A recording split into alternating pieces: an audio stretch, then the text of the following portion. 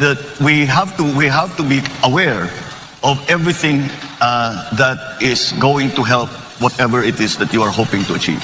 And on a national scale, that means you have to understand very well what the situation is on the ground. Ganito kasi ang sitwasyon ng mga tao, eto na ngayon sila, kakada, uh, na, nasa gitna pa ng pandemya, walang trabaho yan mga yan, umaasa pa rin yan sa, uh, uh, sa tupad, sa AICS, etc.